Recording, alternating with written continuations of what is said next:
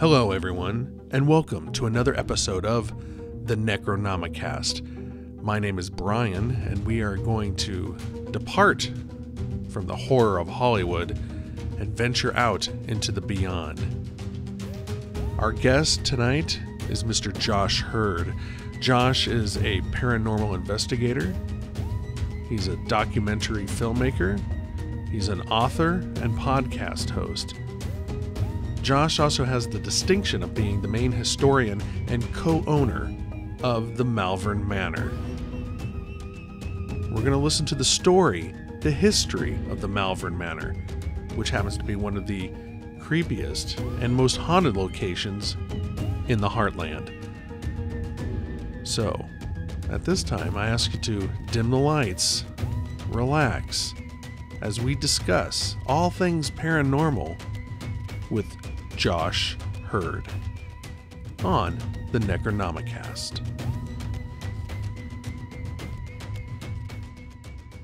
Under a blanket of stars, another late night conversation with somebody in the paranormal industry or in the paranormal world. I'm joined here in the haunted heartland with Mr. Josh Heard. What is up, sir? How are you? Good, man. How are you? I'm doing fine, man. It's great to have you on the show. Uh, you're just uh, kind of a like a renaissance man almost in in the paranormal world. I and I hate to box in and just say in the paranormal world, but we'll talk about uh, your life and experiences with the paranormal, how you how you came onto the uh, the Malvern Manor. We'll talk about all the kinds of things you got going on. But for those that haven't heard of you or familiar with you, tell us a little bit about yourself. Yeah, so uh, my name is Josh Heard. I'm a paranormal author, lecturer, uh, investigator, filmmaker, uh, all this fun stuff. and um, yeah, also, you know, co-owner of this really cool building in Malvern, Iowa that we call Malvern Manor. Uh, that and that stuff usually keeps me pretty busy. I'm also a musician as well, like kind of on the side and on the weekends, you know, that fun stuff. But yeah, man, I stay busy. What drew you, or what were your kind of earliest experiences uh, that kind of piqued your interest in the paranormal? You know, I guess I was always kind of like that weird kid in school. like, um, I remember going to the library and like as the class, you know, the whole class would go to the library and all my buddies would be like getting these books on like, I mean, they were getting like the Berenstain Bears, you know, and things like that. And I'm like, okay, that's lame. You know, I don't want to, I don't care about the Berenstain Bears. So like, so I remember like getting those books um, I think they were called like scary stories to tell in the dark, you know, and things of that nature. And I mean, man, I remember like reading these stories and just getting creeped out, like thoroughly creeped out. I'm like, this is so delicious. And so I, uh, I mean, that was kind of what initially, you know, drew me into the kind of the weird, you know, the world of the weird, I guess. But, uh, you know, it wasn't until I was about 12 years old, you know, I lost an uncle uh, you know, he was only 31 when he passed away. He was quite young. Um, and so this was, you know, a fairly big shock, you know, to the family. Um, but it was very odd happenings surrounding his death and, and, the funeral and just a few days after that that really uh, got me scratching my head got me kind of asking the bigger questions you know in life which at, at 12 years old you know like that's kind of a, a terrifying thing. You know you're just now finally coming to terms with the finality of, of death. And you know i was quite close with my uncle and trying to cope with the fact that you know he's gone. And you know having these experiences um, really kind of led me then to you know the works of like hans holzer uh, sure. Ed and Lorraine Warren, you know, things like that. But like really diving into like even parapsychological research and things like this, which at 12 years old, man, like it's super weird. I understand that. Um, and I kind of kept it all under my hat, honestly, you know, until I was in college and I found some like-minded individuals. you know, I got out of small town Iowa and uh, found some other people who were into this creepy stuff. We have similar um, backgrounds when I was a kid. Like you, you mentioned, like you know Berenstain Bears. Like yeah, I, I was really I was really attracted like these books, like um, books about Bigfoot, um, books about um, Yes. you know the Loch Ness monster. Uh, yes, and then and then do you remember the orange and black Crestwood house or Crestwood monster books? Oh, absolutely, Yeah, man, those were my absolutely. those were my favorite books when I was growing up. Oh up. my so- gosh, man. you know and then uh, you were talking about your uncle you know my dad passed away when i was 15 and so at a kind of a young age you know and he was he was an older guy uh Sure. yeah you know you're faced with uh, at a young age this finality uh, of death and um, um, mortality and everything so Right. really so i i totally appreciate what you were saying um about that because it, it resonates with me that's kind of my background And I mean, it's just, it is kind of a weird thought, you know, like um, having somebody that is so central in, in your life just kind of be taken away like that. Um, yeah, it's, it sucks. It's terrible. Um, but ultimately, you know, I think that is what, what kind of started me on this path. That's for sure. So how do you go from there to being a, a co-owner of this Malvern Manor? And for those that aren't familiar um, with the Malvern Manor, I first heard about it on Darkness Radio. I think uh, you guys were talking. Were you on Darkness Radio? Was that the show? I did. Yeah. I did. Uh, Darkness Radio. Yeah. That was a lot of fun. Yeah, yeah. And so I was like, gosh, I can't believe this place is so close to Omaha, the River City. Um, tell us a little bit about the manor, and then let's go into how you became caretaker and co-owner. So, like, you know, the manor itself is an interesting structure. You know, it's it's ten thousand square feet. Um, so there's a lot of ground to cover in it, um, and we know it was built uh, in the mid 1800s, and then by the late 1800s, the place was in, in full swing as a as a hotel, and uh, kind of like the the pinnacle of the area. You know, it was really the place to be. Um, for travelers and all of that. And I- so primarily it's servicing the railroad. Um, it ran as a hotel all the way up until 19 uh, the 1950s. Hmm. Oh, so it had a really good run. Um, now, obviously, it was going through owners like water. You know what I mean? Like nobody seemed to hang on to it for long. It was almost as if they were, you know, uh, wagering it in, in, a, in a poker game or something. But uh, it's, it's Right. kind of funny when you go back and look at some of the history. Um, but we know, like in the 1950s, it kind of takes an odd turn. It becomes uh, what we would consider to be like a nursing home. Um, and, you know, there was a new section of building that was put on in 1956 that we call the nursing home wing, Mhm. um, which kind of suggests a more medical atmosphere once you're back in there. I mean, there's wider door frames, a lot of laminate type flooring, things of that nature, um, med cabinets, and all that fun stuff. Um, now we know it, it didn't really last that long. In the 1970s, the state of Iowa came in, shut them down because the hallways weren't wide enough to properly transport patients. Um, and so this is where it becomes what I call the group home. And, and the group home is servicing any type of mental disorder you could possibly imagine. Uh, things that we see every day, you know, people with uh, Down syndrome, people with drug and alcohol abuse, but very common uh, type things. Uh, to the opposite side of the coin, you have people with uh, DID or multiple personalities, as it used to be referred to as. Um, you know, schizophrenics, even murderers are housed here. Like this is a very eclectic group and population of people kind of coexisting together uh, under the same roof for sure. Uh, and we know it ran that way all the way up until its closing in 2005. Amazing. Yeah, I've spent the night in the place, Yes. and and yes. it's uh, with uh, co-host Zip and Doug and our friend Harlan, our little paranormal team. And when you say I- it, the place is enormous, I was like, wow, we get the whole run of this place. It's huge, Yeah. and you can kind of feel like an old timey kind of west, uh, kind of a feel. You know, like when you're talking Yes. about, uh, you know, the, it's days of being uh, kind of the hub when the railroad kind of came through like that that that first room, the captain's room that we were in, And then, oh yeah, yeah, that's got a great vibe. And then you uh, like you can kind of go through the places or the, the different sections of the building. And there is uh, you can tell like where they kind of well we're going to add on an addition here. We're going to put on a wing here. Because it because it's all it's, it's the way it's constructed it, it, you can you can tell like well this is totally 100% it's different. so bizarre. Yeah. Yes. It's a, it I, is so weird. and i and it took the first at least hour that we were in there uh, to kind of find our way around you know?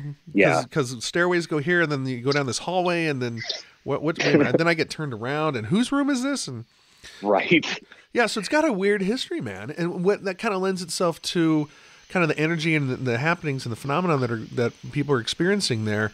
Uh, yeah, because it's eclectic. It's weird. It's it's got a weird vibe with the different, um, I guess, eras that it's had and exactly the, and the yes. different people that have stayed under that roof. Can you tell us a little bit about I, I kind of mentioned the captain's room. Can you kind of tell us a little bit about maybe the personalities that um, kind of present themselves, or or people? Sure. Are, yeah. So, and I will say, yeah, uh, who we affectionately, you know, refer to as the captain um, is, you know, Captain Cullers. He was, um, you know, really one of the first people to come to the area and like settle, you know, build a family, a life, and put down roots. And we know, like, uh, he was obviously one of the original owners of that uh, building itself, um, but very strong ties, it would seem, to the place. Um, I will say I, am fairly confident that that he's not too cool with what we're doing. I will say that, like he is kind of a uh, a grumpy guy, that is for sure. Um, especially when when provoked, when pushed uh, in any way. Um, you know, some of the other you know what I call resident spirits, right? Um, you know, Gracie is one of my favorites. Um, now, Gracie was definitely one of the exotic type of patients, but she was multiple personalities. She was schizophrenic. On top of that, um, they would hear like male voices coming from her room. Yeah. Um, they they would have to go check it out, and they would see um, it's just her. You know, like she could uh, manipulate her voice to sound male, which is fascinating you know, just given the, the night and day differences between male and female vocal cords, even. Um, one evening in particular, we know three nurses came and sat with Gracie for an hour, and within the hour, documented 13 separate, distinguishable personalities, which is almost medically unheard of. Like the wheelhouse is two to five, you know? Right. And so for her to have 13, it's like, oh my goodness. Like I can't imagine uh, being in her shoes, you know, uh, and, and, living with that type of mindset, you know, just fascinates me. Now, her in particular, um, her in particular, what era was she living there? Was she living there, like like, like you said, with the um, the addicted? Um, yes. So this yeah. would have been like in the '90s, is okay. when she was there. Yeah, absolutely. Um, you know, we do have an interesting kind of. This is definitely one of the more uh, unsolved mystery type cases that we have, but uh, uh, the little child spirit that we call Inez. And we know there was a 12 year old girl in 1900. It was December 21st of 1900. And uh, we know 12 year old Inez Gibson was outside playing with her uh, eight year old brother Otto. And she was either cold or bored, but she says, You know, I'm going upstairs and we know 10 minutes pass. Otto comes upstairs and he finds his sister Inez hanging by her jump rope in the closet. Like this kind of looks like a, a suicide. It kind of smells like a suicide. Like these kids had had a very rough go of life up until this point. Um, you know, uh, mom and dad split. Uh, neither one was uh, able to really care for the children. So they had come up and they were living now with aunt and uncle. Uh, aunt and uncle were also grocers in town. And that's what Otto did. He tried to get his sister down after finding her. Uh, and he couldn't get her down because he's just not strong enough. And he runs to uh, runs to the grocery store to get aunt and uncle, who are now you know adopted mom and dad. He grabs them. He grabs two doctors as well, uh, which seems like just dumb luck for small town Iowa in 1900. Um, but they race back, they get her down, they try to help her. uh, but there was just no helping her. Um, too much time had passed, you know.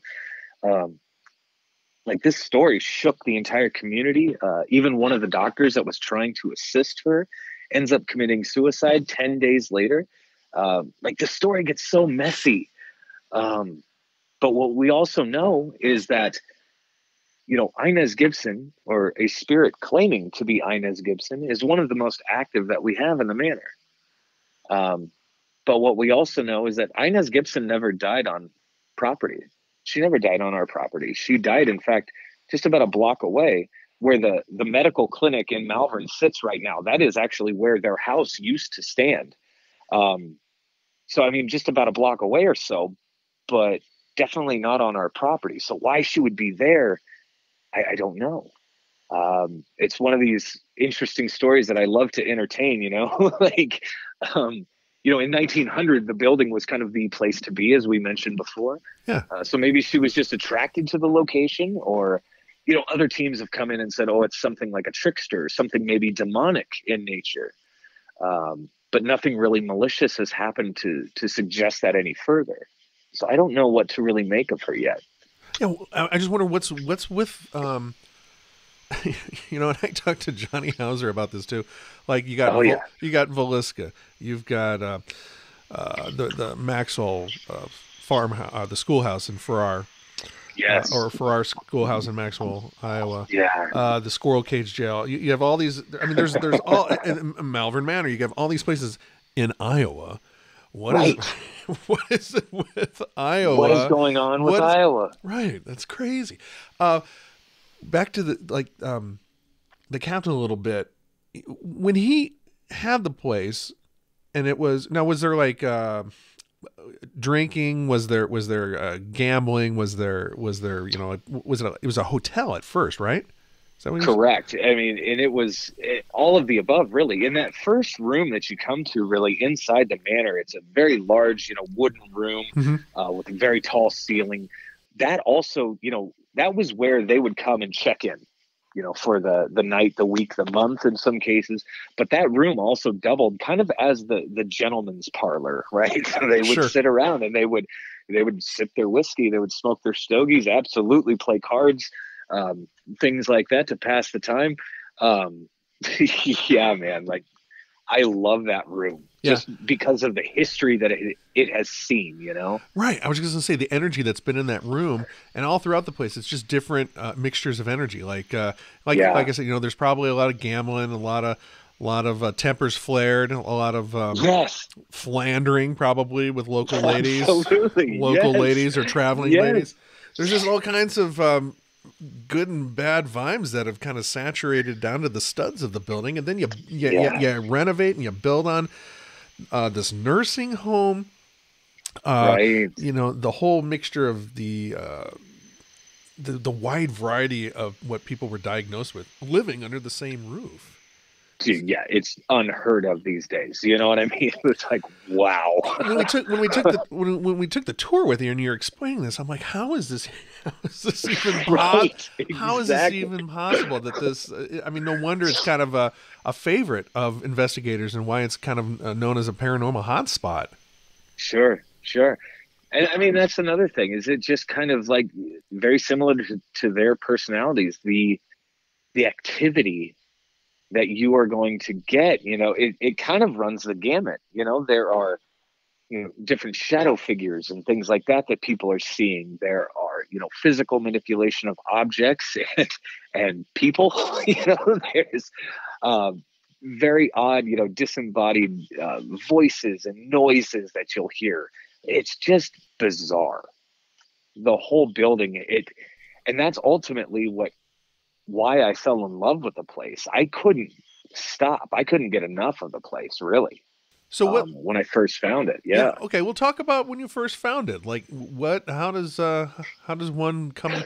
I mean, you didn't win it in a card game, you know, against the captain. Like, how did you guys become uh, owners and and stumble upon it? You know, it does kind of feel like I did though. like it is very odd. Like it is so odd. Um, so I was filming my first documentary film. And we were across the street at the Classic Cafe in Malvern, Iowa. uh, which has its own slew of paranormal happenings. They were nice enough to say, "Yeah, come on over and, and film for the purpose of your documentary." Awesome. So I go and, and I, I didn't realize, oh, there's there's a bar that's attached to this place, and it's a Friday night, and uh, uh, apparently it had been a rough week for the, for the patrons because man, yeah. they were loud, and so there was absolutely no way that we could you know, do a, an investigation with noise contamination and all that stuff. So it was a wild night in Malvern. Boy, it really was. so, and that's just kind of my luck anyway. Right. So I uh, I go outside and I am uh, smoking what I call my angry cigarette, just kind of uh, trying to come up with a plan B.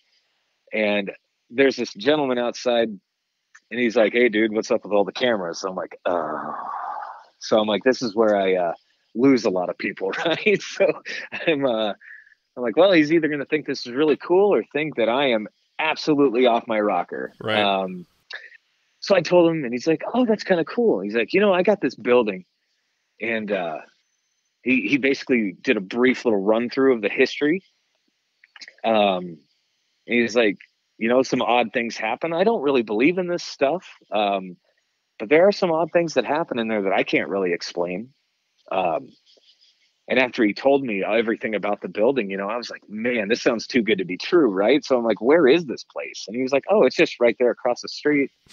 I was like, okay, pal. I'm like, I think we just became best friends. You know what I mean? I'm like, dude, this is great. Yeah, talk about it totally just falling in your lap, right? Yes, exactly. And so like he was nice enough to then be like, yeah, come on over and you know, bring the cameras, do your thing. I'm like, wow, okay. So he just saved it you know, saved night one of filming, um, which I thought was complete just garbage and trashed at that point. Um, and so we had gone in there, um, did a couple like experiments.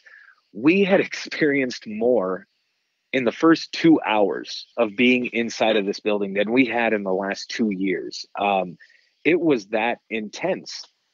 And what's interesting about it is like watching the first film, which is, you know, called A Brush with Evil, watching that, the first 10 minutes of that documentary is quite literally us stumbling upon this building that we are going to eventually then call Malvern Manor, which is mind boggling to me still um, to this day. And so, you know, I talked to this gentleman and I was like, look, I don't think you realize what you have here, you know? Um, and like it was to the point where I would just call him up. It would be like a Wednesday night, and I'd be like, "Hey man, do you think I could cruise over to the house for a little bit?" And he's like, "Yeah, sure. You know where the keys at." So I'd run him. I'd run him like a, you know, I'd like, I'd run him like a hundred bucks. I'd be like, "Thanks so much. You know, like I appreciate it, but it, you know, there's no heat, no running water, no anything in the building." And so I'm like, most of the time I was only there for like maybe an hour uh-huh. or two. Right. So I'm like, God, like you know, don't tell my wife that I'm like spending this kind of money. Just like yeah, she thinks she thinks you're over in Council Bluffs at the boats or something, right? right, exactly. and that probably would have been better, you know. Um, but man, like he ends up, he ends up, uh, you know, kind of listening to what I had to say and agreed to like open the doors, mm. you know, hmm. to the public and man, I was like, this is going to be the, the easiest money you've ever made in your life. Cause quite literally people would come, they would I would check them in, I would collect their money, and I would run it right next door where he lived. And I'm like, there you go, bro. Like, see you later. Well, he calls me one day and he was like, um, I got a job offer and it's out of town and I got to leave. Uh, but I'm selling my house. I'm selling the manor. I'm selling everything. And I'm like, okay, hold on. I was like, just give me like three weeks. You know what I mean? Just yeah. chill out for a second. And we were lucky enough to to kind of swoop in there and get the building to keep it doing what it's doing. So yeah. That's incredible. Now you mentioned the one cafe that you were going to go investigate. Just for the people uh, that are going to visit malvern and stay overnight what's the name of the other cafe as well so there is excuse me there's the classic cafe which is just across the street. Yeah. And then right quite literally right in the front yard yes. of malvern manor is a little mom and pop diner um, called cnm's yes. And that place is divine. Like all of these, the, the places to eat in Malvern are are phenomenal. The only reason Um, I'm so sorry, go yeah. ahead. Go ahead. No. no, I was just going to say, like, it's to the point where I've literally put up uh, the menus for these different places to eat in Malvern. You know, I've put them up in the manor so people can uh, they can go to these places, you know, and see what they want to get uh, before they even walk in the door. You know, so, Well, what's what's funny is like when, when we stayed at Villisca and uh, we stayed there twice. I've been there three times, but we stayed overnight twice. yeah. Uh, we eat at TK's in uh, Oh Villisca. yes. So like Johnny Hauser and I uh, on when I interviewed him on the show, we talked about how great their pork loin sandwiches were. But no, th- that, re- that restaurant after a night of like paranormal investigation, there's nothing better than to go into these like mom and pop places, have a cup of coffee with the locals. Oh yeah. and then have Yes. a have a have like a kick-ass breakfast. I, they're not Yeah. sponsors to the show, so I'm not going to be talking about them too much. But when in Malvern, That's right. That's right. eat, eat over there. Definitely hit them up, man. Yeah. Yeah. Uh, how cool that that you got the place. Now, now you're um, a co-owner. So is um, I didn't meet the other owners. That you're a co-owner. Is that right? That's correct. Okay. Yes. So So is- chief chief cook and bottle washer. I got kind of what I call myself. yeah. Now, is your co-owner? Did they uh, did they just buy it kind of like for um, investment, or are they into the paranormal as well? Oh, they're um, very much into the paranormal. Oh, okay. Um, okay. and they had they had um, visited us a few different times um, and you know they were the first people i really reached out to saying man like i don't i don't know what's going to happen with this place you know and i you know i just kind of wanted to keep them in the loop or whatever um, and they're like yeah hang on we're going to make something happen you know and sure enough it it did Well, I also so here we are I appreciate your role as caretaker of the place too, because you give a real detailed, thorough tour of the place. Sometimes people just hand you the keys and say, "Well, we'll see you in the morning," but you you walked Right. through every part and you talked about the history of the town. I appreciated the fact that the place was, um, you know, it, it had um, a different beginning than how it ended. yeah Yeah, uh, yeah and also all the different personalities in there. Now we talked about Inez, we talked about Gracie, we talked about the captain. What one dynamic that I found was really interesting when we when and when we were there, we tried to contact or um, see if we can hear anything from. There, there was two gentlemen up in a hallway that had Yes. um, uh, adjacent rooms. Can you tell us a little bit about Yes. that? That Yeah, so you know, one of the first things that I did, you know, after we acquired the building for ourselves was we had the former nursing staff, you know, kind of meet us there, those that were willing, and walk us through the building. Just kind of walk me down memory lane, right?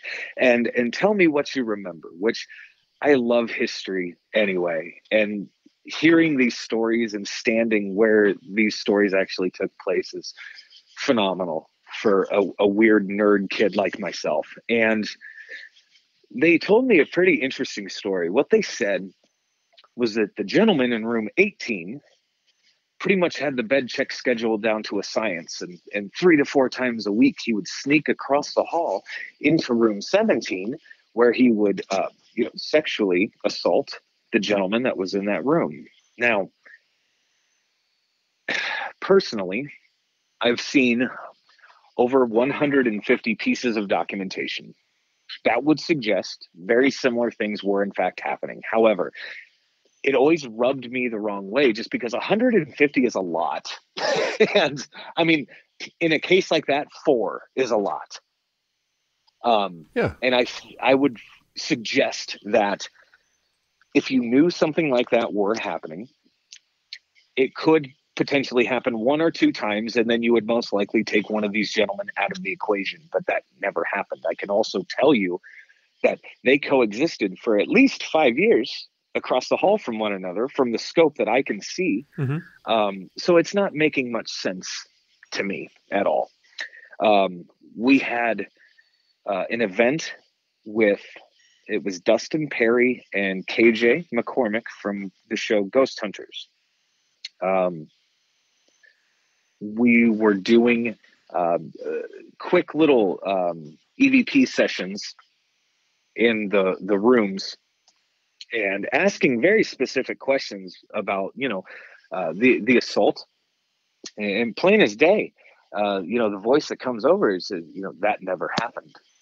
and yeah, um, it, it was very adamant about the fact that no, this never happened. So obviously, I, uh, you know, we all kind of perked up, and I was like, well, what did happen? He said, I loved him. Now, over the next, gosh, two hours. Now he said, say that again. What, what you heard, and you heard it clear as day. He said, I loved him. I loved him. I loved him. Yep. And the spirit suggested over the next two hours that these two were in fact a couple. They loved each other very much. Um, you know, I, I don't know what to make of the documentation other than the fact that I know any form of sexual anything has to be documented, no matter what it is, which may then lend itself to why we would have this documentation, but also maybe lend itself to why they were never separated, um, because maybe it wasn't an actual issue, um, but you got to put something down right. on paper. And I also know this was, you know, this was more in the early, early and mid 90s uh, you know, where this was just now becoming more socially acceptable. But um, but still, I mean, it's slower.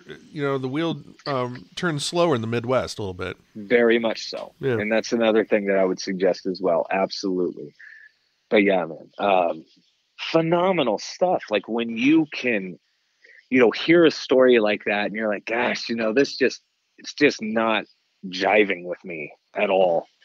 Um, and then to get EVPs like that, just almost like real time responses. Like, no, dude, you're telling this story all wrong.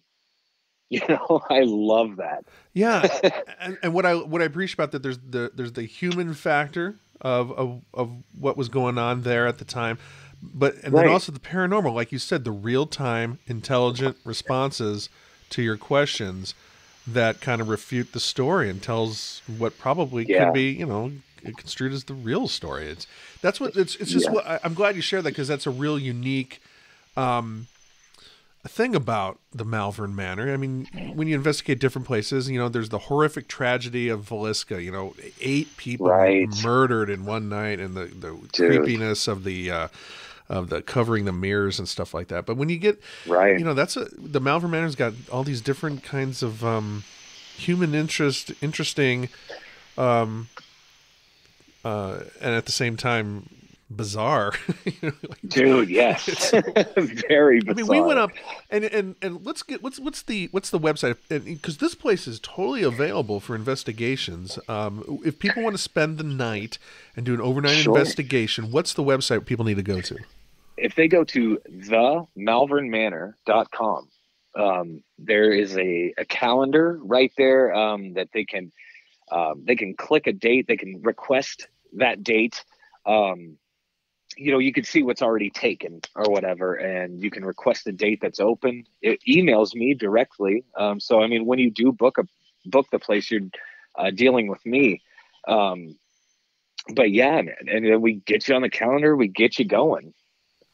Yeah, so and like and like great. I said, what I re- what I appreciate about uh, your place and and you when we got there, just sounds dumb, but from a customer service standpoint, when you go there, you get the tour, you get your questions answered.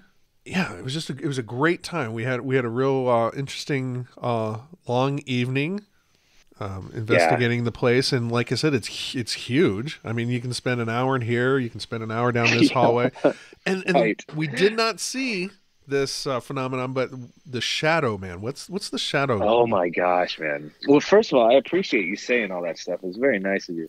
Um, but yeah, like the the shadow man phenomenon is ridiculous, and this is what's going to send the majority of people out the front door um, myself included, like not lying. Um, but uh, you know, the, all the way down this really long, dark hall uh, in what we call the nursing home wing uh, is room number two, and a very tall, uh, black humanoid figure comes out of room two. He will turn and run at people. Um, this is not a I mean, it's a very unnatural movement. it's not like a typical running gait or anything like that. And this is uh, traveling the distance of, I would say, 30 to 35 feet in, in less than a second. So, um, now what's interesting to me anyway um, is the second you you flinch or you know duck and cover and scream or what have you, um, you know, the phenomenon's past. It's done and over with. Nobody is getting hit or scratched or, or any of that junk. None of that is happening. Um, I think it's just seeing something moving that fast uh, towards you is definitely enough to to jar you. Um, now it was the day after Paranormal Lockdown aired on TLC. Um, one of these nurses that I've since befriended, you know, she said, "You're never going to believe this." And I was like, yeah, try me, right? But she yeah. said, in, right. she said, you know, in room two, the gentleman that occupied that room was six foot seven. He was nonverbal, uh, mentally deranged. He had killed a few people in the past. Um, now, his little claim to fame, though, was whenever they were doing like bed checks or, or rounds or what have you, he would come out of the room and he would chase whichever member of the nursing staff was doing the documentation. Yeah. Um, I'm like, oh my God, that right there fascinated me because we're seeing very similar behaviors here. Um, it, it, almost suggests, you know, something residual uh, in nature, but you know the problem with it is usually with a residual type of haunt there's an antecedent something to to kick it into motion um, sure, like a date something be, happened, yeah, or exactly. yeah, yeah, yeah, yeah, or a time of day, a, a, weather pattern, a moon phase. Like we are trying literally everything that we can, and coming up completely empty-handed, which is quite frustrating. Um, but uh, we don't know why this is happening. Um, this has been known to happen as often as four times in a day. Um, the last time that this happened was three days ago, and it was 7:30 in the morning. So I have no idea like what the significance was was 7:30 in the morning. Must have been bed check time or something. Like wake up, it's time for breakfast, dude. yeah, maybe, maybe, right. It's like, come on, chow time. Right. Yeah, it's just it's such an eclectic group of uh, personalities that are that are said to still inhabit the uh, the halls of Malvern, the malvernmanor.com. So yeah. now earlier you were talking about uh, you were filming your documentary, A Brush with Evil. Um, yes, I know you've made three of them. The, the the the third one, the final chapter, just debuted at the Omaha Haunticon. Yes. Now you've also, I, I was just kind of looking through the titles of your shows or your movies. Into the Light, Patience, oh, Into dude, the Light yes. Two, Interconnected. Now, if you subscribe to Amazon Prime. I see a lot of those are, are you're able to watch them on Amazon Prime. Yeah, they're right there. So you know, let's let's talk about your films. What what started you, you know, getting the bug in, to start making movies? You know, I never really had any aspirations to tell you the truth to do that. I wrote, um, I had written a couple books at that time, and uh, maybe we should start talking about your books, man. You've written well, and yeah, I've written six. I've written six books, um, and now you know up to up to fifteen documentary films. Like it's crazy. How many? Are um, you, how many have you made? 15, 15 oh. different films um, that I've either made or been a part of. Um, but yeah, like writing the books. You know, like I'm not a writer at all. Well, so, wait, like, wait, wait a minute. You're not a writer, but you've written how many books? Right. So I mean, it, this was more of I've like, written. I'm not many, like you know how many books I've written. How many? Zero. You're like goose I'm, egg. I'm not a writer. Dude, no. By definition, like I'm not a writer. It's so crazy though. Like, I, I don't know. Like, writing was a lot of fun for me, you know, and I didn't think it necessarily would be. Uh, but then I was approached to kind of turn that first book, which the first book that I wrote is called When Ghost Hunting Goes Wrong A Brush with Evil. Yeah. And so then I was approached to make this film, and I was like, okay, cool. Um, that was definitely my introduction, you know, into this whole filmmaking world. And then I definitely got the itch after that. I was hooked and it was everything it was the the tech and and the filming process and then it was you know the the editing process and all of that. Like oh my gosh man i fell in love with all of this stuff. Um and so it's you know it's definitely a labor of love that's for sure but uh um yeah i guess i just haven't stopped yet. So.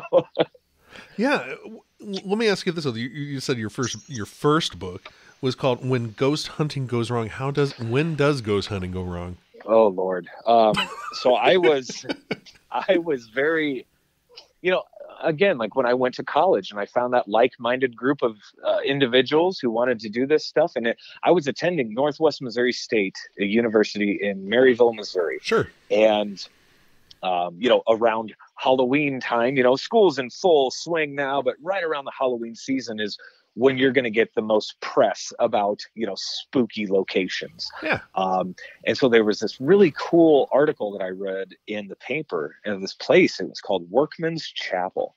And workman's chapel is a it's an old it's an old church. Uh, it fell into disuse in the 1950s um i mean it looks like a barn. It looks like an old barn with uh, you've got three windows on each side. You have two windows in the back, and you have a very large opening in the front, but very similar to like a barn. Um, and it's just one single room. That's it. Um, but now, I mean, the place is falling apart. There's graffiti all over the walls. You know, there's all sorts of weird stuff just everywhere. Um, you know, um, beer bottles and, you know, broken glass. It's not a very inviting place, I'll say that. But, you know, we had, we had went out there four consecutive nights. The first three nights, nothing really significant was happening. There was bumps and, and, and creaks and knocks and things like that, but nothing really to, you know, write home about. Um, the fourth night is when we bit off way more than we could potentially chew. And you know it it ultimately uh, took the work of a priest uh, to, to to rectify this whole situation.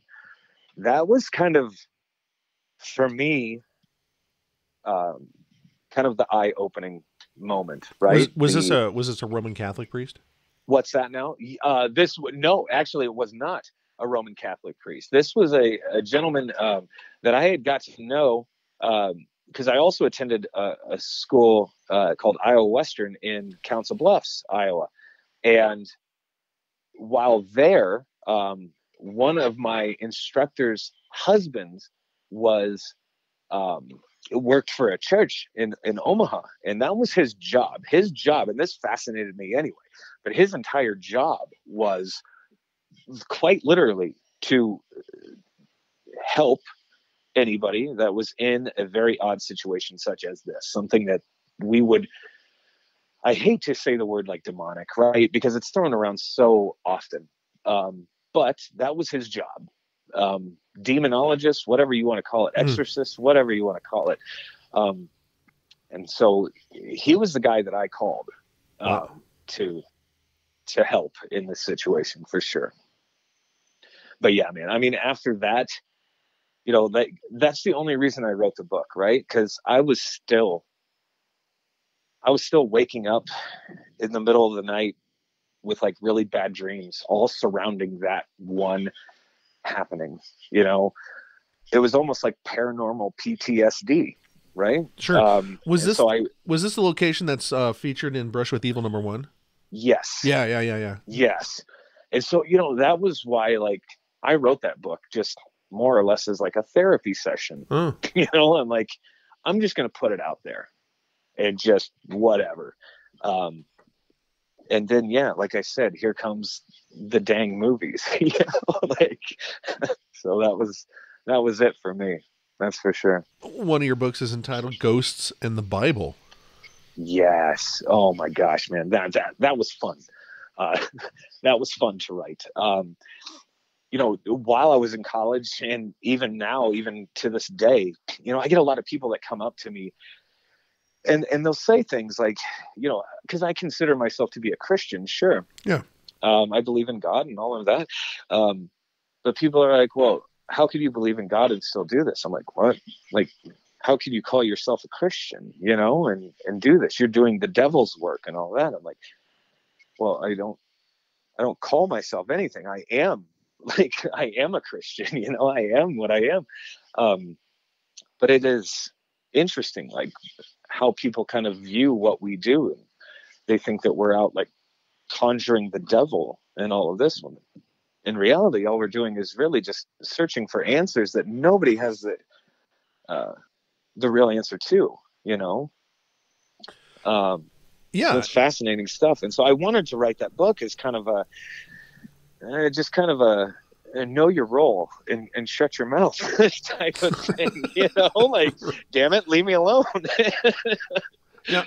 You know, it, it's interesting because uh, I'm I'm Roman Catholic, and sure. uh, you know there is there is church the church frowns upon uh like necromancy like like correct yes you know conversations with the dead well i've never had a conversation uh like a back and forth like a dialogue right. with the God, dead that would so, be great though, so i well but then you know at the same time though you even earlier in this conversation you were talking about like is this a trickster you know things like yes. that so so there, yes. there's a, there's a definite like um while this is for me very fascinating and i love these late night conversations and what it implies with you know the afterlife and answers and things like that i do acknowledge and i think it's totally totally acceptable to acknowledge that there are dark forces out there that might yeah you know, uh, you, you said something like, like I think it was with Inez, you know, you said like, or something that identifies right as exactly. Inez. So, yeah. Something that makes you want to think you're addressing a 12 year old girl, right? But, yeah, it's uh, a because... lot. It's a lot like the parallels of the internet. Well, yeah, I was on. The, yes. I was. I was in this chat room with a beautiful 28 year old girl from Sweden, but it's probably some right. guy from Jer- right. It's some dude from Jersey sitting in mom and dad's basement and eating a hoagie sandwich with his belly hanging out. Right. Just you know what I mean? Oh, yeah. I just I just finished yoga. Well, no, you didn't. You were no, you didn't. but did you? But did you? But did you? Right. So that's what's so oh that's God. what's crazy about the paranormal. I mean, it's so intriguing, but at the same time, like I've got a little yeah. bit of caution there too. So, um, now all your all all your your books are they? I mean, they're all available now. You personally have a website. Yes, I do. Um, it's it's just joshheard.net. Uh, quite simple. Um, but yeah, so on there you can find um, the the books, the the films. Uh, I mean, I even have like a, a Patreon page that's set up where I do like live feeds from Malvern Manor and all this other weird stuff that um, that I'd rather just keep off of Facebook, you know. I mean? But at the same time, but at the same time, on Facebook, on your on the Malvern page, every every once in a while, I'm scrolling every through. Yeah, you'll have like a live video feed. So I think I think it'd be for our Necronomicast listeners, you should go to Facebook, like the Malvern Manor, uh, yeah. and and follow the updates and things like that because you never know when there's going to be like Josh setting up a camera and let's see if we see something. Right and I tell you, like even just last night, man, like there was so much stuff going on just with the live feed that we did. It was ridiculous, and I love this stuff. You know, it's it's to the point where I'm sitting at home and I'm watching it, and I'm like, oh my god, I need to be there. Like I need to go back. And then my wife just looks at me like, are you crazy? Like, don't come on, what are you doing? yeah, yeah. Did you? Whatever. Well, if you're gonna do that, take out the trash too, Josh. Yeah, exactly. Exactly. so okay, while so you're up. we're throwing a lot of information at the people. We've got the malvernmanor.com. We've got uh, Josh Heard, like I heard you, joshheard.net. Uh, now you'd mentioned what, what's Pan, Pan, Pantheon? What's it? Pantheon? What's oh Patreon. Patreon. Patreon. Yeah. Okay, yeah. What's all that about? So Patreon is kind of a cool website where basically, um, you know, you sign up um, and so what I do on Patreon is, and it's it's three dollars, and it's three dollars for a month. And with this month, it's all inclusive. You get everything that I'm putting out for that month, and everything that I've put out since the beginning of the page. Um, but it's blogs. There are the vlogs, and there are uh, podcasts that I do. Um, I just had like uh, Dustin Pari from Ghost Hunters joined me on a podcast. I just did last, no, it was two nights ago.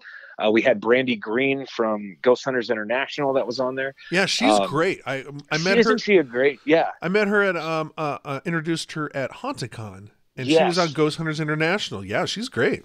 She is such a cool person. Um, and so yeah, like all these uh fun people kind of popping in there and all that fun stuff.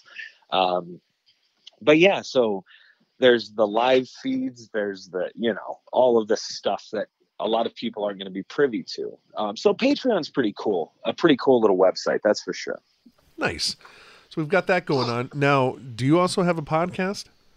I do. It's so stupid, man. Like, you know, what so don't stupid. you do, man? What don't I do? know. I don't cook, and I'm really terrible at laundry. Um, but like, um, so it's called the it's called the Ectoplasm Show, um, which I uh, was more or less I was talked into doing it. Uh, I didn't want to ever do podcasting or anything like that. And I actually, uh, one of my majors uh, in college when I first started uh, was radio broadcasting.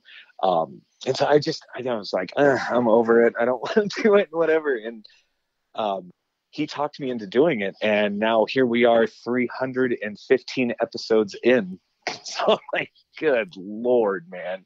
Like, I just can't stop. You know, like, what am I doing? Um, but with that, you know, we we interview guests, so we talk uh, some current event type of things going on with uh, everything from conspiracy theory to ufology and cryptozoology and anything that's weird. We can get our grubby little paws on.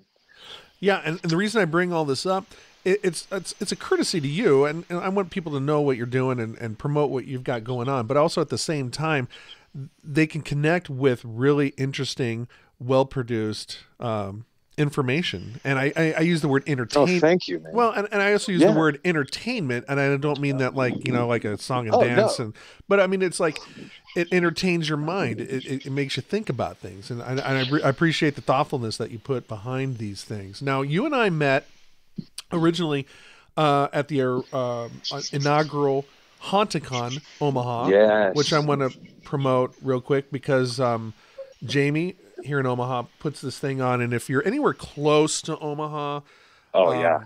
You, you got to come to this thing in 2020. It's going to be held on Saturday, April 4th. I don't know, um, Josh. You, I don't know if you're presenting at it or, or anything like that. It might be too early to say. But I'm definitely going to be there. Yeah, yeah, um, yeah. I don't know. Yeah, I don't know if I'm presenting it or not. well, we have the first one was held in an abandoned slaughterhouse at the stockyards, and yeah. I think she had a permit for three or four hundred tickets. Well, don't tell yeah. the fire marshal, but she sold over five hundred. The second one was at the famous uh, Sokol Auditorium that had over 800 attend. So yeah. she's building something here, and the reason I bring that up is that we're primarily a, a horror movie and kind of dark entertainment, funny kind of podcast, but we also go into the uh, also kind of veer off the path and go down the paranormal, cryptozoology, kind of the interesting stuff. The real, yeah. It's funny to say real life, but it's kind of those situations that inspire the horror movies. Um, Absolutely. So if you're anywhere near the Midwest, of Omaha, Nebraska, you need to come down to Haunticon and uh, experience all this craziness that happens around here. And I'm sure Jamie will love me plugging that event. And it's such a fun event anyway. It's like, man, you get to meet some really cool people, say hi to old friends, you know, all that fun stuff. It's yeah. great. Uh, also, I want to promote an event that I'm going to be attending at the Malvern Manor. I know. I think tickets are sold out. Tickets I might. Think so. Yeah, uh, but uh, I'm gonna be there. I'm really excited about this um, October 19th event. Uh, Dude, kind of an overnight yes. investigation. Now you got some heavy hitters. You got Mr. Houser yeah. coming down, and then absolutely, and then uh, Elizabeth Saint is coming down. Yes. For this, and what I'm excited about this is that she has with Nick Groff formerly of Ghost Adventures. Most people know him from there. But yeah. she's she's got this, um, and I think you're involved with it too. Can you talk a little bit about her? What do you know about Vidi Space? So yeah, Vidi Space man is a a network like for everybody. It's kind of you know, it's I, I call it Netflix for nerds. You know, um, any interest that you have. There's, you know, Vidi spaces, it, Vidi space contains all of these other spaces. You have the music space, you have the horror space, you have the documentary space, you know, you have the haunted space, all of this stuff that you can uh, go and and look at at um, there's shows, um, there are films, there are podcasts. it is outstanding stuff. Um, but yeah, it was all started uh, by by Nick, uh, Nick Groff, and Elizabeth Saint. Uh, I was fortunate enough to, you know, I, I submitted the first A Brush with Evil film to them, not really expecting much. Um, but within five hours, they had emailed emailed me back, and they were like, "We want it I was like, okay. I'm like, well, hold on tight because I got a few more here. So I like just throwing everything that I can at them. hey, you want some podcasts? I got about 10 books. I got 15 movies. Hey, hey, hey. right. Hey, look at this. Look at this. Here's another one. Right. Um, but uh, they were nice enough to, uh, to, you know, hear me out and look at my stuff, you know, and just give me the time of day. Um, and that was really why they wanted to start you know vidi space is the fact that there are a lot of cool you know like documentary filmmakers for example that are out there and they're making really cool films and really good content. And they don't have a platform to stand on. Um, and it's really really hard uh, to get that. And they just gave us the platform. They're like here this is this is home for you now you know? Um, and this is a place where uh, people like elizabeth and nick are also going to be you know plugging your stuff and and putting it out there for the masses to see. If it wasn't for nick and elizabeth in all honesty my stuff wouldn't be on on amazon. That was all them. They were the ones that did all of this stuff. So i will forever be thankful uh, for those guys. For sure. Yeah it's an exciting time because if you're looking for content like that there's never been a better time to go find that content. And it's it's uh, readily available it's it's uh, produced with high quality and uh, yeah it's just exciting it's exciting time for for those that uh you know and it's not even i'm just talking like with in the realm of technology it's just really cool that right. like like information can be shared. Uh, it, it's just it's it's it's just incredible, and I and I really it fascinates me. The reason I brought it up is because I'm really excited to to um, go and be a part of this uh, thing at Malvern Manor on October 19th. But I can't wait. Yeah, it's going to be huge.